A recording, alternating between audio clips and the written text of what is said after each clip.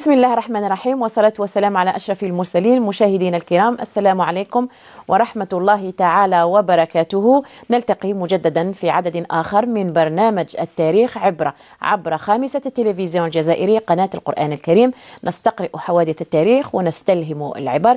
اسمحوا لي جميعا باسمكم أن أرحب بعلمائنا هذه الأمسية شيخنا محمد الهادي الحسني. أهلا وسهلا بك. مرحبا. أهلا, أهلا وسهلا, وسهلا.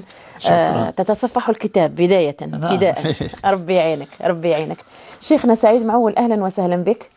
وبك أهلا. شكرا على الدعوه بارك العفو الله فيك. أهل الدار أهل الدار.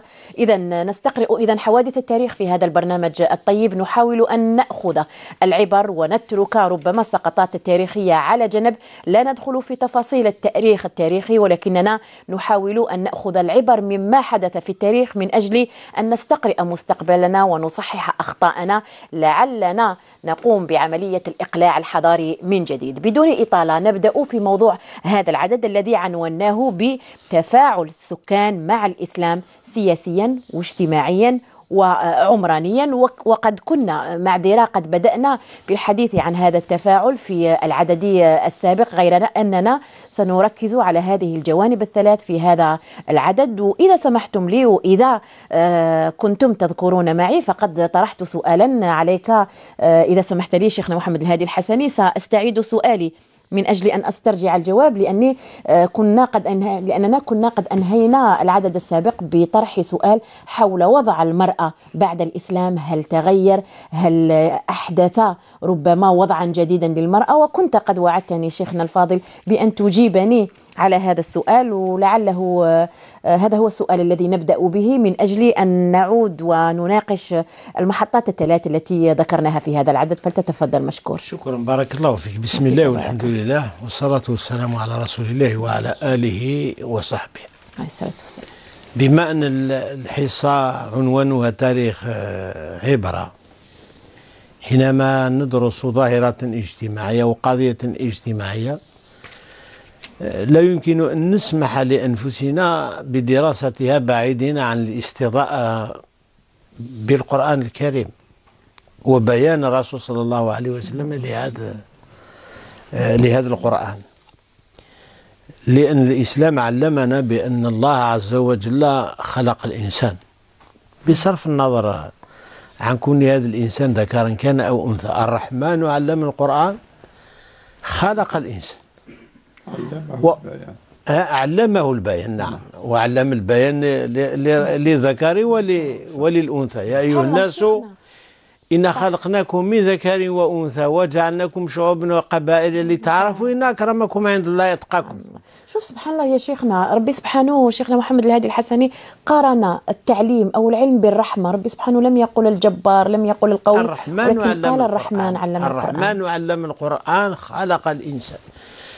علم القرآن خلق الإنسان علمه ال- البيان. وحينما يقص علينا قصة قصة مثلا امرأة عمران التي نظرت لربها ما في بطنها محررا إذ قالت امرأة عمران ربي إني نذرت لك ما في بطني محررا فتقبل مني إنك أنت السميع العليم. فلما وضعتها قالت ربي إني وضعتها أنثى. ولكن لماذا؟ لأن في مخيلتها لأن هذا النظرة الدنيا للمرأة حتى المسلمين مع الأسف آه، تأثروا بها تسربت إلى الإسلام من اليهودية والنصرانية التي كانت تنظر إلى المرأة نظرة دنيا. فامرأة عمران تأثرت بما كان سائدا في مجتمعها. واعتقدت بأن الذي العمل الذي وهو حراسة المعبد بطبيعة الحال كانت تتصور أنها وضعت أنثى لا تصلح لهذا العمل ولكن القرآن يصحح لها هذا المفهوم. والله أعلم بما وضعت جملة اعتراضية وليس ذكر كالأنثى. وهذه المرأة لا تعلم بأن هذه الأنثى التي وضعت ستصبح من بين أكبر سيدة الع... نساء العالمين. أفضل. مريم التي جرى الله تعالى ع- بسبب بها هذه المعجزة التي آه، آه، أنها ستكون أما لنبي ولد وفق هذه المعجزة الإلهية التي حدثنا عنها القرآن. ويعرف دائما وينسب هذا النبي العظيم إليها. عيسى آه، بن مريم. بن مريم. وهكذا. وهذا تكريم للمرأة في حد نعم ذاته. تكريم للمرأة. إذا كنا نتحدث في هذا الجانب الخاص عن المرأة ال- الأمازيغية كيف استفادت من الإسلام وكيف تأثرت به؟ لابد أن ننوه بأن المرأة البربرية أو الأمازيغية حتى قبل الإسلام كان لها كانت وضع. لها مكانتها ال- المتميزة في المجتمع. لم تكن تكن عالة على المجتمع. ولم تكن مظلومة؟ ولا لا كانت سيدة القوم. لماذا؟ لأن المجتمع الأمازيغي هو مجتمع أمومي. ليس مجتمعا أبوي. كبقية كثير من المجتمعات الإفريقية وكانوا يعتقدون بأن العلاقة التي تقرب بين أفراد ال- الأسرة هي الأم. وحليب الأم يعتبر أهم عامل وأدركنا هذا في منطقة القبائل مثلا. يتكلموا على حليب الأم باعتباره أقوى صلة بين بين بين بين الإخوة. يقول لك هذا خويا من الحليب. هذا خويا من الحليب. وحينما يقول حتى. بالأمازيغية يقول آه، غما يعني أخي. هذا آه، اشتقاق أو مزج لفظي مزج بين لفظين يعني ابن أمي. غما ولتما أختي. بمعنى أختي من من أمي, أمي. يعتقدون بأن آه، الصلة بينهم تتقوى بواسطة الأم وبواسطة الحليب الذي رضعه كانت هذه المرأة لم تكن عنصرا استهلاكيا فقط. المرأة كانت سياسية كانت عسكرية. كانت تقود. ويمكن أن نذكر بعض بعض بعض النماذج هذه هي. التي تحدثنا عنها. حتى قبل الإسلام. نعم أو الكاهنة أو التين هنان عند عند عند التوارق أو بعد ذلك في الإسلام نحن تحدثنا كثيرا عن عن فا فا فا فا فاطمة سمر أو الزوجة الأمازيغية التي تزوجها إدريس الأكبر والتي لم تعيش معه طويلا. وتركها حاملا بابنها إدريس الأصغر. إدريس الأصغر ونظمت الحياة السياسية في في في عهدها وحافظت على النظام العام الذي قاد في النهاية إلى أن يتوصل هذا الصبي وهذا الجنين الذي تركه إدريس الأكبر ليصبح أول أمير بالنسبة للإمارة. الإدريسية. للإمارة ال- ال- الإدريسية. حينما جاء ال- الإسلام بطبيعة الحال جاء الإسلام ليحرر البشر من يحررهم من البشر من الجهل يحررهم من من الظلم الاجتماعي. وما جاء ليحرر الرجال دون النساء هذا هو الأصل. صحيح. هذا هو الأصل في الإسلام. ونحن نعرف في الحواضر في الحواضر المختلفة التي تعاقبت في شمال إفريقيا في في في المغرب الإسلامي بصفة عامة. كيف أصبحت المرأة متعلمة سواء كان في بجاية من بعد ذلك وفي تلمسان وفي كل العواصم في كل العواصم ال- العلمية والحضارية التي ظهرت آه، مع تعاقب السنين وتعاقب ال- ال- القرون في في آه، يذكر المؤرخون فقط آه، في مدينة بجاية. هناك آلاف من البنات يحفظن المدونة. الإمام مالك وليس. القرآن برك. القرآن هذا شيء آه، شيء مفروغ منه. لأن البنت كانت تذهب مثل ال- الوالد كانت تذهب إلى الكتاب وتحفظ القرآن الكريم. ولكن هناك إشارة لابد أن نشير إليها. لأن فقهاء المسلمين آه، كثيرا ما اعتمدوا في الأحكام الفقهية التي دونوها في مختلف المذاهب. دونوها اعتمدوا على الكتاب والسنة على القرآن والسنة حقا. ولكنهم كذلك اعتمدوا على الأعراف في لبعض المجتمعات. الخطأ جاء من آه، حيث أن ال- الأجيال المتعاقبة لم تستطيع أن تميز. بين ال- الأحكام الفقهية المستنبطة من القرآن ومن السنة وبين الأحكام الفقهية المستمدة من الإعراف باعتبار العرف مصدر من مصادر التشريع ويحاول البعض أن يعمم هذه الأحكام المستفيد ال- ال- ال- المستنبطة من العرف أن يصبح عرفا عاما يصلح لكل المجتمع هذا الذي يحدث.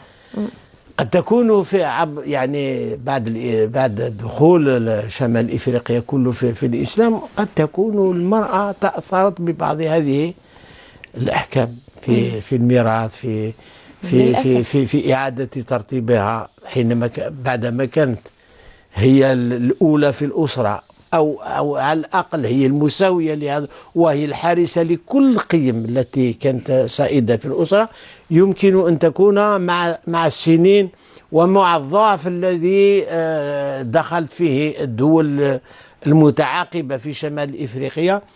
قد تكون تضررت بهذه الأحكام التي تجعل من المرأة ربما في المرتبة الثانية بعد الرجل. آه، ودخل في مجتمعنا قضية فكرة ذكورة. للأسف. كذا المجتمع الذكوري. في في الميراث آه، وصل وخاصة بعد بعد مجيء الاستعمار الغربي الذي تعرض له بلداننا تأثرت ربما المرأة. في وخ- ومست في حقوق أساسية بالنسبة إليها التي ضمنها ال- الإسلام. في الميراث هناك بعض ال- الجهات آه، توصلت إلى أن آه، تحرم هذه المرأة من حقها من حقها في في في, في الميراث. ويسميه شيخنا الغزالي غصب الاستيلاء وغصب نعم. الاستيلاء. وتأثرت إلى جانبي لأن مع الغزو الاستعماري لا لم تتأثر المرأة فقط وإنما تأثر الرجل أيضا لأن الرجل أيضا فرض عليه الجال فرض عليه الحرمان فرض عليه الطرد فرض عليه كل المصائب وبالتالي لا يمكن أن تنجو ولكن في العهود الظاهرة لكل الدول التي نشأت في المغرب الإسلامي في ظل الإسلام عرفت هذه المرأة مكانة آه، متميزة آه، أخذت العلم وشاهمت في في في في في في في, في, في, في الحضارة التي آه، نشأت آه، فوق هذه الربوع ولم تكن عنصرا سلبيا هذه المرأة لم ينظر إليها على. أنها مخلوق ضعيف ولكنها كانت عاملة وكانت سيدة في الأسرة إذا سمحت لي فقط. وكانت هي حارسة القيم في الأسرة طيب. وفي وفي طيب. المجتمع. إذا كنت قد فهمت جيدا كلامك أخشى أن يفهم من هذا أو أن أفهم شخصيا أن الإسلام لم يقدم إضافة للمرأة. طالما أنها كانت سيدة وطالما أنها كانت آه، آه، تساوي ربما في مرتبتها الاجتماعية الرجل الإسلام هل, هل أفهم من كلامك أنه لم يضف شيء؟ لا. ليس هذا ليس هذا. لأن الإسلام جاء أولا ليحرر الإنسان كإنسان بصرف النظر عن كونه رجل ذكرا أو أنثى امرأة. صح. لا يمكن أن ندعي بأن ما كان عليه الناس قبل الإسلام هو النموذج هو المثال الذي ينبغي أن ي- أن يحتذى به. جاء الإسلام لترسيخ إنما بعثت لأتمم مكارم. مكارم الأخلاق. أيضا. لأن الإسلام جاء ليثبت هذه الحقوق حقوق المرأة وحقوق الرجل صح. وينظم هذه العلاقة الزوجية على أساس المودة والرحمة كما نعلم وعلى هذه ال- ال- الأسس التي ومن آياته إن خلق لكم من أنفسكم أزواجا لتسكنوا إليها وجعل بينكم مودة ورحمة. فالذي استفادته المرأة بعدما جاء الإسلام هو الذي استفاد آه، به منه آه، الرجل حيث أنها استطاعت هذه المرأة أن تعرف مرجعيتها وأن تعرف هذه الأسس التي قامت عليها الدعوة الإسلامية. وهي انها أصبحت موحدة وأصبحت مؤمنة وأصبحت آه، وأصبحت آه، عنصرا ايجابيا في في في المجتمع وأصبحت عالمة وأصبحت مساهمة وأصبحت تناقش وأصبحت تناقش القضايا كل القضايا الثقافية والقضايا الفكرية التي تهم المجتمع صح. والتي كانت تشغل المجتمع في طيب، في, في وصلت ذلك الوقت الفكرة. فالمرأة. إذن فالمرأة إذن اعتبر الإسلام هي شقيقة الرجل وهي إما أن تكون له أما أو تكون أختا أو تكون زوجة أو تكون جدة بنت أو أو أو تكون مهما كان وضعها. نعم فهذه العلاقة. ولهذا سارع البربر إلى اعتناق الإسلام. لما لماذا؟ فيه من سماح لأن ما كان موجود العلاقة التي كانت موجودة بين الرجل وال- وال- والمرأة أكد أكد الإسلام وطورها ووثقها ودعمها بارك الله فيك. وأحدث هذا الانسجام على المستوى على المستوى الاجتماعي. فكرمها الإسلام أيما من تكريم من من من من, من الأسرة. وصلت الفكرة. بارك الله فيك و... والحمد لله اتضح الأمر أكثر. وسأعود إليك في نفس النقطة. ربما شيخنا محمد الهادي الحسني وأنا أستمع إلى تحليل الشيخ سعيد معول وكلامه آه، الطيب. تذكرت كلام جميل جدا كان يقول الشيخ محمد الغزالي فيما يتعلق ببعض ال... بعض نقول الظلم الذي وقع على المرأة حتى بعد الإسلام يقول كلما تعلق الأمر بالحديث عن المرأة هزمت الأحاديث الضعيفة الأحاديث الصحيحة. نعم. تفضل شيخنا. أعوذ بالله من الشيطان الرجيم. بسم الله الرحمن الرحيم. والصلاة والسلام على سيدنا محمد وعلى آله وصحبه أجمعين. هي ال- المشكلة هي فهم المسلمين للإسلام. وهذا المقصود من كلام الشيخ. أول أول كلمة ربي نزلها في القرآن هي اقرأ. اقرأ كما علمنا شيوخنا رحمهم الله. فعل أمر آه نعم جاء في صيغة آه، أمر آه بصيغة الذكر ولكن كما يقول ربي أقيم الصلاة. هذا فعل أمر للذكر أيضا. أقيم الصلاة. هل المرأة لا تقيم الصلاة؟ صح صح. آتوا الزكاة؟ هل المرأة لا ت... إذا فهم المسلمين وقد تجرأوا على الرسول صلى الله عليه وسلم فوضعوا حديثا آه، ما يمكن ليس عليه نور النبوة كما يقول الشيخ الغزالي ماذا ما ذكرته علي لا آه، كيفاش؟ لا تعلموهن الكتابة ولا تسكنوهن لا الغرفة. حول ولا قوة إلا بالله. وهذا كيفاش تؤمنون ببعض الحديث وتكفرون ببعض الحديث؟ ها ما قريتهاش ولكن سكنتها في الغرف. صح. الغرف هي الشرفات هي الطبقات العليا.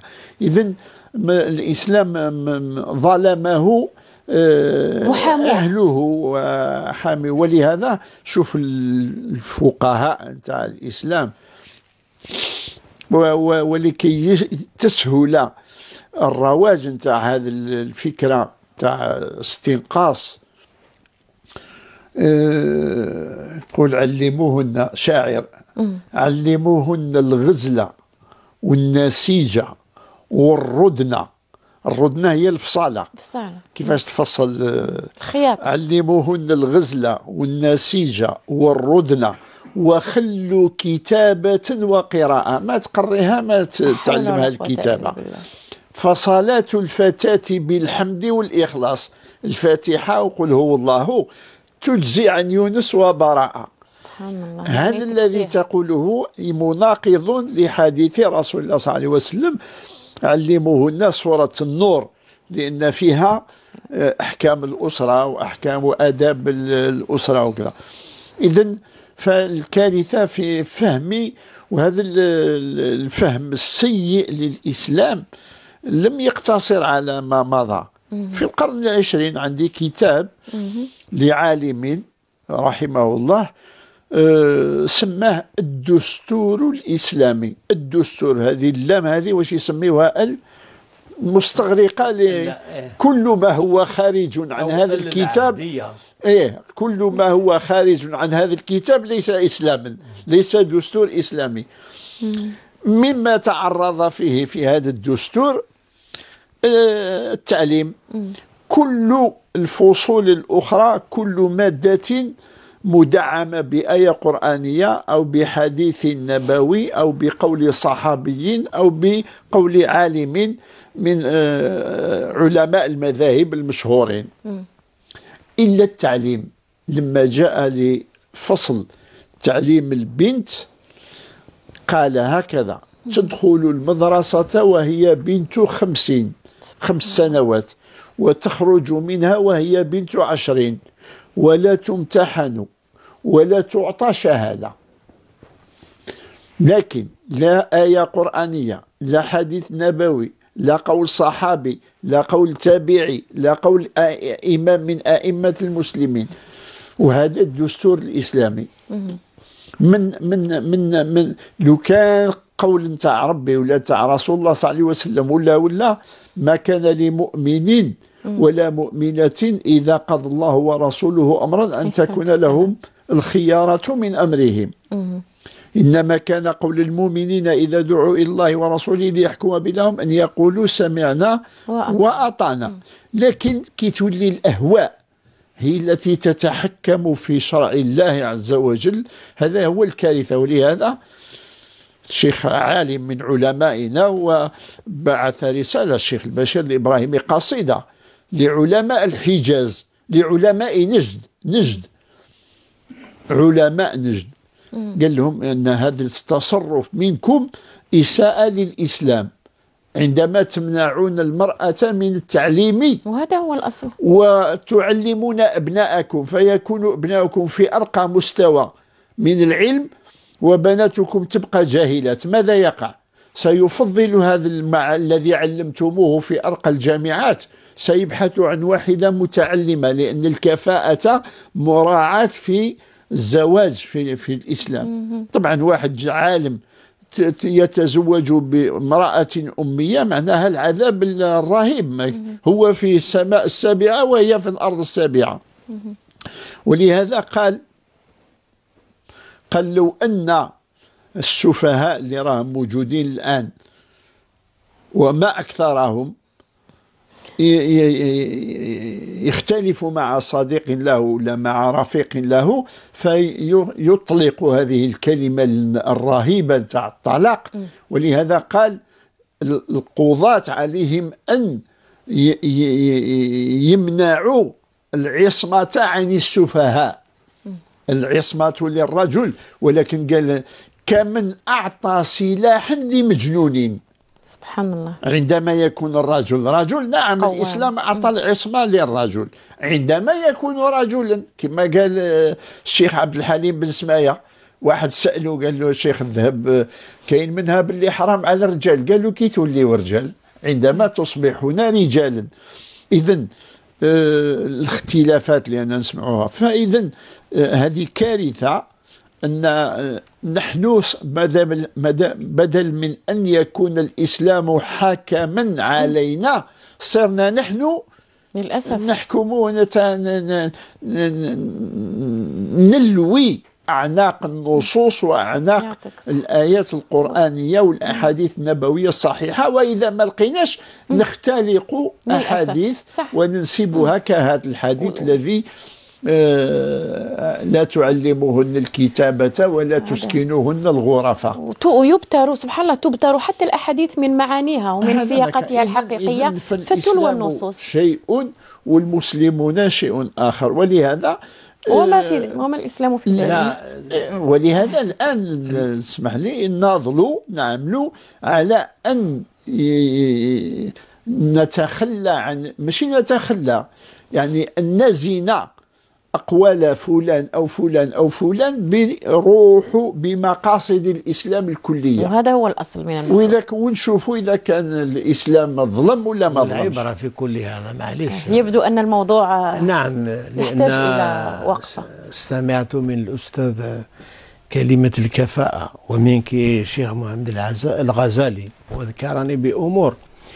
لأن هذه العبرة التي ينبغي أن نخرج منها ما موقفنا إزاء هذا التراث الإسلامي القائم سواء كان على عرف أو الأحكام التي فرضها واقع معين مر به المسلمون سواء كان ظرفا سياسيا أو اقتصاديا أو ثقافيا مر مروا به. قضية الكفاءة هذه الكفاءة في في في زواج. آه، هي أحكام فقهية أقامها الفقهاء على أساس آه، على أساس ربما إيديولوجي على أساس قومي. حينما قالوا مثلا مثلا بأن المرأة القريشية لا يتزوجها إلى قريشي وذكرت الإمام الغزالي ذكر في كتابه ركائز الإيمان بالعقل والقلب. هناك علي يوسف رحمه الله وهو رئيس حزب في القرن الماضي في في, في, في, في مصر. كان يخلق أو يصنع بعض المشاكل للسلطة الحاكمة في ذلك الوقت حتى يحطموه باسم الإسلام وباسم الفقه الإسلامي رفعوا القضية إلى المحكمة ضده من أجل تطليق زوجته منه لكونها قريشية. سبحان الله. وهو مصري فهو ليس كفءا فهو ليس كفءا لها. ثم هناك أحكام فقهية أيضا. العيب ليس في هذه الأحكام التي الع- العيب حينما تحاول أن تعمم ذلك على سائر المجتمعات وتقول بأن الإسلام هو الذي قال هذا. كأن تقول مثلا عندنا مثلا عند الفقهاء المالكية وخاصة الذين جاءوا من بعد مالك أن الشريفة لا ترضع. لماذا؟ لأن العرب كانت ترسل بأبنائها المراضع. هذه لأسباب ثقافية لأسباب صحية لأسباب لغوية. لا يهم. مشكلة ولها أن تشترط ولها أن تشترط على زوجها في عقد الزواج أن لا ترضع أبناءه. هكذا مكتوب في في كتب الفقه كأن هي ليس ليسوا أبناء ليسوا أبناء لها مشكلة تجزئية فهي تعميم للإنجاب يا فقط. شيخنا. أنا لا أناقشك في في عرفك. أي. إذا كان اصطلحتم على هذا ولكن الشيء الذي أناقشك فيه أن تجعل هذا من دين وأن تحاول أن تعممه على. سائر أي. ال- المجتمعات.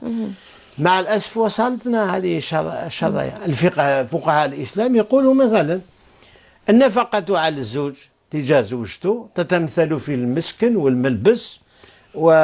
وشنو ثاني المسكن والملبس مأكل. والمأكل نعم ونفقة علاجها يقول لك لا نفقة علاجها من مال أبيها وهذا لا يمكن أن يتصور في مجتمعنا الزوجة تمرض وتقول لا ت... ت... تنادي أباها أو أمها تعالوا لتأخذوا بنتكم عندما آه، يأتيها تفاصيل كثيرة الشفاء على كل وستعود حال. سعود. هذه أحكام طيب. فرعية فقهية يجب أن نميز بينها هذا فرضه واقع اجتماعي معين لا-. ولكن لا تحاول أن تعممه باسم الإسلام ولعل هذا الذي أساء هذه الشظايا- هذه الشظايا- هذه الشظايا التي أساءت إلى وضع المرأة بصفة عامة يعني جابها مجتمعنا ولكنها تسربت للأسف باسم. أنها فقه صح باسم أنها موجودة عند الفقيه. الفلاني. أو الفقيه الفلاني أو الفقيه الفلاني لا الإسلام كرم بين- المرأة. كرم المرأة وكما لله. كرم الرجل الحمد لله. كر... ولا يمكن أن تتحقق كرامة الرجل وحريته صح. إذا لم تتحقق كرامة شقائق. الرجال ج- النساء نعم شقائق الرجال شقائق هذه نظريتنا في كل الأحوال ممكن أي، لك. حتى نعود الكفاءة إلى- ليس الناحية العرقية مثلا هذا عالم يعني أنسب له عالمة. من حيث التوافق نعم من هذا حيث التوافق مش طيب.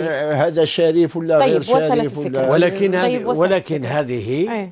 في المغرب الإسلامي ما كان لها جو أضرب لك مثال ب- ب- بكنزة هذه الأورابية التي كانت زوجة زوجة الإدريس الأكبر الأكبر الذي نجا هرب من من الفخ الذي نصب له لي- لي- ليقتل فوصل إلى هنا وتزوج بأمازيغية. لأن لو تتبعنا المنطق الفقهي الذي أقامه الفقهاء على على الأعراف ما كان ليتزوج فهي ليست كفءا له؟ له. ولكنه تزوج وأدركنا هذا في مجتمعنا الجزائري. كان الناس ماذا يقولون؟ هؤلاء الذين انحدروا من من من الإدريس الأكبر للأشرف كانوا يقولون للأمازيغ أخولنا أخالي. لماذا؟ لأن أمهم أمازيغية وجدهم الأول كان كان ليس فقط قريشيا ولكنه كان هاشميا. ولم يعلموا الناس بأن هذا لا يجوز وإنما انحدروا من من من من من من عنصرين من عنصر الأمازيغي ومن العنصر ال- ال- ال- القريشي ال- الهاشمي هذا يقول هذا يقولون لهؤلاء أنتم أخوالنا. وهؤلاء يقولون أنتم أسيادنا أنتم. أسيادنا سيدي وخالي. والرسول صلى الله عليه وسلم يقول اختاروا لأبنائكم اخولا هذا هذه النظرية تقوم على نقيض هذه قامت هنا على نقيض النظرية التي تقول بأن طيب. الكفاءة تقوم على أساس ال- العرق وهذا وهذا يمتد حتى إلى. الناحية السياسية حينما خرجوا وسنصل إليه ربما في يوم من الأيام الله. آه، الناحية السياسية حينما كانوا الحكم. الحكم لا يكون الخليفة يجب أن يكون قريشيا في حين الله عز وجل يقول إن أكرمكم عند الله إتقاكم. ولا أتصور سيدنا رسول الله الذي يقرأ هذا القرآن ونزل عليه وكلف بتبيينه عند وفاته أن يقول للمسلمين لا يصلح لحكمكم إلا هؤلاء. لا لا لا لا, لا بارك الله فيك. وهو الذي يقول آه، ولو تأمر عليكم عليكم. عبد حبشي رأسه آه، ورب العزة قال له إن أكرمكم عند الله أتقاكم لتعارفوا. سبحان الله. وهؤلاء في المغرب الإسلامي هذه هذه هذه النظرية أبطلت. هذا الهاشمي وابنه بعد ذلك وابنه ثم ابنه كلهم تزوجوا. لماذا؟ لأن المؤمن الصادق المسلم الصادق يقترب من الناس لا ينعزل عنهم صح. ولا يتعالى عنهم. وإنما. يندمج في فيهم كفيت ووفيت يا شيخ نعم. بارك الله فيك بارك الله فيك. ولعل الحديث إذا لاحظتم معي يا شيوخي الأفاضل ساقنا من الحديث إلى المرأة إلى الوضع السياسي دائما وارتباطاته نعم. آه، المختلفة ولذلك سأمر هكذا بسرع بسؤال سريع إلى شيخنا محمد الهادي الحسني إذا سمحت لي اليوم حديثنا عن ربما التفاعل آه، على المستوى السياسي والعمراني والاجتماعي. ونحن قاربنا الحديث عن الجانب السياسي. وجدنا أنه بظهور الإسلام آه، بدأت المنطقة تخرج شيخنا محمد الهادي الحسني من حالة الانفعال إلى حالة التفاعل من حالة التأثر إلى حالة التأثير. كيف كان التفاعل آه، على المستوى آه، السياسي يعني وما هي مخرجات هذا التفاعل؟ إن صح التعبير. ال- المنطقة كان في ما يهيأ إلي أنها كانت سكان هذه المنطقة هذه في ما سبق من عهود ما عدا العهد الفينيقي شيئا ما كانوا على هامش التاريخ سكان هذه المنطقة. إلا عندما آه، يوقع بينهم وبين الآخر آه، احتكاك مسلح وكذا وإلى آخره. و- وهنا واش نشوفوا يعني معليش نستعجل ال- الصراع مع البيزنطيين مع الرومان مع الوندال كان صراعا عرقيا. أحنا ولاد بلاد وأنتم غرباء. عندما وقع الصراع نفسه بعد الإسلام لكن لم يصبح عرقيا ولا فكرة.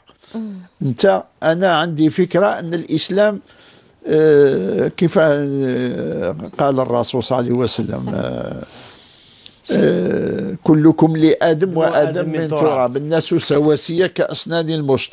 إذن ولا نفس الس- ال- و و و و من هؤلاء العناصر التي ثارت ضد كذا عناصر من الذين جاءوا من خارج المنطقة. عندهم نفس الأفكار لكن رأوا بعض الحكام ولا بعض الولاة آه، اشتطوا في أحكامهم في تصرفاتهم فقاموا يعلنون الثورات آه، وهكذا تعرف في كتب التاريخ ثورات الخوارج خوارج على السلطة الظالمة على السلطة المستبدة على السلطة والرسول صلى الله عليه وسلم قال أفضل الجهاد عند الله آه، كلمة حق عند إمام جائر ظالم. ولهذا الناس اللي يستعبدون باسم الحديث تاع الرسول وإن جلد ظهرك وأخذ حقك يقول لك إذا كان إماما عادلا.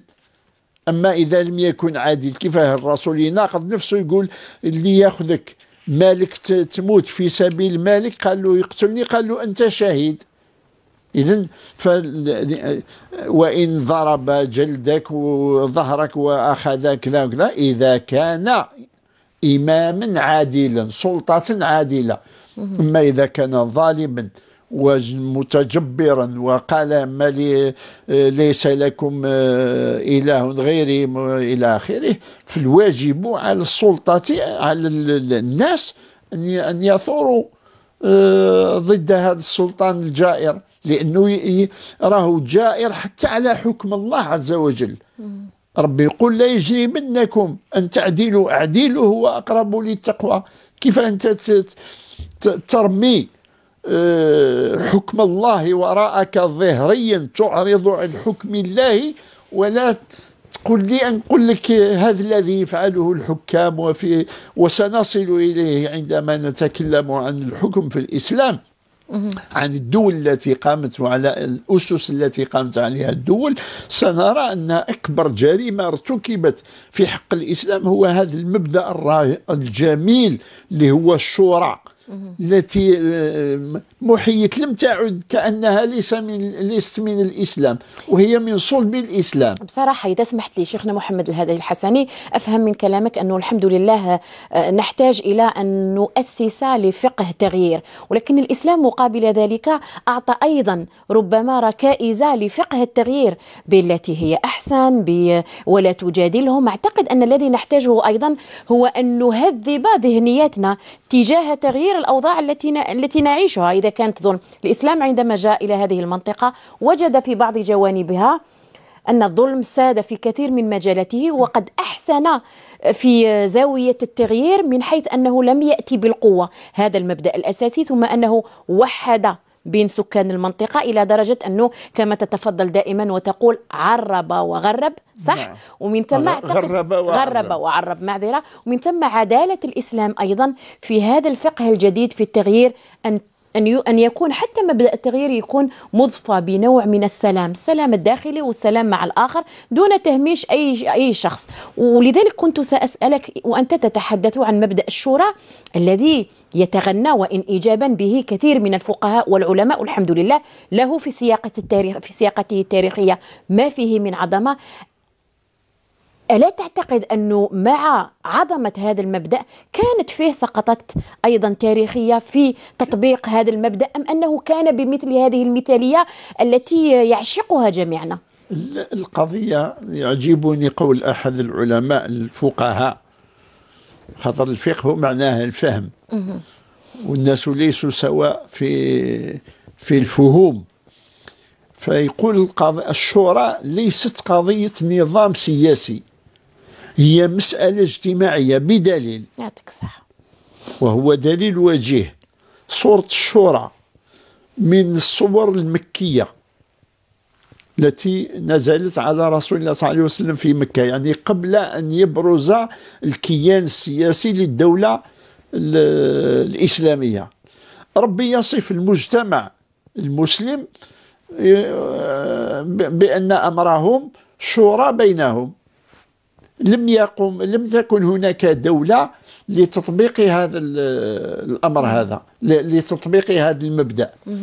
لكن لما انتقل الرسول صلى الله عليه وسلم إلى المدينة وصار هناك كيان سياسي ولا ولا في صيغة أمر وشاوره في الأمر. والخطاب لمن؟ الأمر لمن؟ لرسول الله الذي لا ينطق عن الهوى. علمه شديد القوة ما أتاكم الرسول فخذوه ومع ذلك يقول ربي ولذا الكارثة في في حكمي وفي اعتباري أن يقول بعض العلماء إن الشورى معلمة وليست ملزمة. ولما كانت ملزمة معلمة. لماذا الرسول صلى الله عليه وسلم يشاور في بدر ويشاور أصحابه في أحد وكان لا يحب أن يخرج في أحد؟ ولكن الصحابة أو جزء من الصحابة قالوا لا بد أن نخرج لأنهم لم يشاركوا في في بدر فقال لهم نخرج. فلما رأوا أن الرسول يخرج بغير رضا أو رغم كأنه مرغم على ذلك قالوا له خلاص لا قال لهم درك ما نش نلعبوا ما كان لنبي إذا لبس لباس الحرب أن ينزع هكذا. قلت نخرجوا نخرجوا إذا فالشورى الكارثة اللي أصابت العالم الإسلامي وما تزال إلى اليوم هي هذه الشورى دايرينها آه، خضرة فوق عشاء إنسان اللي يحكم أربعين سنة ولا يسأل. وربي يقول قفوهم إنهم مسؤولون. هذا الذي حكم أربعين سنة سأل كل الوزراء والسفراء والمديرين وهو الوحيد الذي لم يسأل طيلة 40 سنة. وكيف هذا؟ بشر هذا. آه، ولا غير بشر. إذا بشر قال محمد طيب. صلى الله عليه وسلم قال كل بني آدم خطاء. إذا لماذا لا تحاسب على أخطائك أنت؟ صحيح. هذا في الجانب السياسي. إذا كنت قد أتممت يا شيخنا محمد الهادي الحسني لأن المخرجة تشير ب بمشارفة انتهاء. الوقت للأسف الشديد. يبدو أن تفاصيل التاريخية كثيرة والعبر أكثر وهذا هو الجميل في هذا البرنامج. الطيب وسأنتقل إليك وألاحظ أنه لديك تداخل. نعم ل- ولعلني بعدها سأسألك. لأن هذه. الآراء الفقهية يجب أن نقرأها في سياقها الزماني والمكاني. بعد الفتنة الكبرى التي وقعت في, في بين المسلمين. في المشرق قبل أن تكون المغرب. في المغرب دفعت الفقهاء إلى أن ينشئوا هذه الآراء الفقهية طاعة الحاكم لماذا؟ لأنهم كانوا قدروا بأنهم اختاروا بين يعني يستطيعون أن يعني يتعلموا كيف كيف يختارون بين بين بين بين الضرر الأكبر وضرر الأخف. الأخف الأصغر لأن الفتنة يقول له أنت أنت أنت عيش 60 سنة ربما تحت الاستبداد خير من ليلة واحدة في في الفوضى. لماذا؟ لأن الفقهاء أفتوا لمعالجة الأوضاع التي كانت قائمة بالمسلمين الفوضى العارمة والقتل الذي لا حد له وقد عرف المسلمون فترات حرجة في حياتهم ولكن الفقيه ما كان يهمه هو أن يعود أن أن- أن يعود ال- الأمن ولكن العيب أن تصبح هذه الأحكام الاستثنائية التي توصل إليها الفقهاء من أجل معالجة وضعية كانت قائمة لظرف سياق في تاريخي معين. أن تصبح هي الفقه قانونا مشكلة وأن تصبح. هي الفقه في كل. زمان وفي كل مكان لأن الأجيال التي أتت من بعد ذلك تقصر وتقول هذا هو الإسلام هذا هو ال- ال- هذا هو ال- ال- الفقه هذا هو الخطأ والعبرة التي ينبغي أن أن نخرج بها اليوم. كيف نتوجه إلى التراث؟ ونغربله مثل ما قال الشيخ الغزالي رحمه الله ثقافة تقليدية تحتاج إلى مراجعة في سواء في فقهنا سواء في فهمنا سواء في كل أدبيتنا. ما هو أين هذا ال- ال- ال- ال- التراث الذي هو من الإسلام حقيقة وهذه التجربة ناجحة ونحتفظ بها أين التجارب الفاشلة أو المتقولة على الله وعلى قرآنه فنقول هذه يجب أن يستغنى عنها. أن, أن, أن, يستغنى عنها في كل. العلاقات سواء كانت علاقات سياسية سواء كانت علاقات اجتماعية العلاقة بين الرجل والمرأة العلاقة بين الحاكم والمحكوم كل هذا لا يعفينا أبدا من البحث. المرض ال- ال- ال- ال- الخطير الذي يتهددنا هو أن نقف جامدين ونقول هذا شيء هذا هكذا قال الفقهاء. الفقيه هذاك عالج مرض عصره طيب. وظرفه ووجهه وأنت ما هو موقفك اليوم؟ هل يمكن أن نصطحب معنا هذه الفهوم إلى أن يرث الله الأرض ومن عليها وننسبها إلى الله وإلى رسوله؟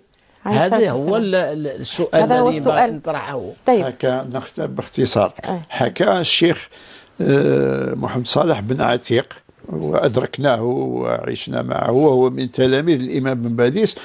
قال مررت يوما على الإمام بن باديس كان في محل آه، يمكن تاعو الشهاب ولا فناداه أبو محمد صالح أرواح.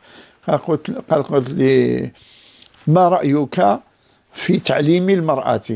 في الدعوة إلى تعليم المرأة. في قسنطينة قال له الشيخ أنا بريء من هذا. أنت راح رايح تدور تثير بركانا تقاليد وتراكمات وكذا والى آخره.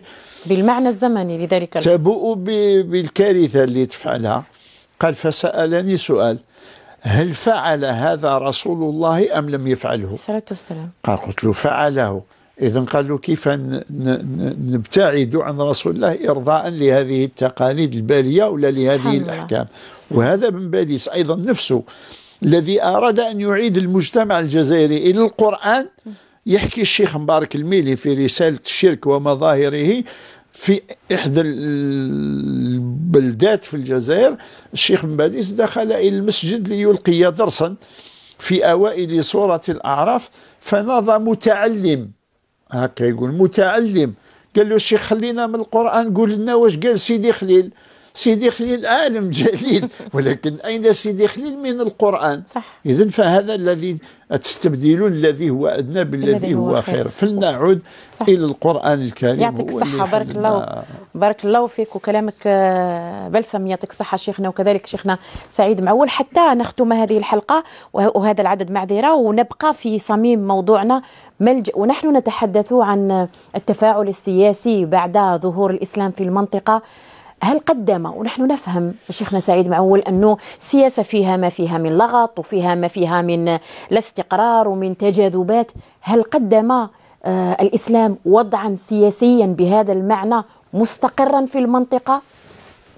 إذا سألتني عن الإسلام سيكون الجواب بمغاير إذا كان سؤالك تسألين عن المسلمين. صح. المسلمين منذ أن دخلوا في الفتنة الكبرى كانت حياتهم هكذا أخذ ورد بين بين بين كل بين كل الأطراف لم تعرف لم يعرف المسلمون استقرارا دام هكذا.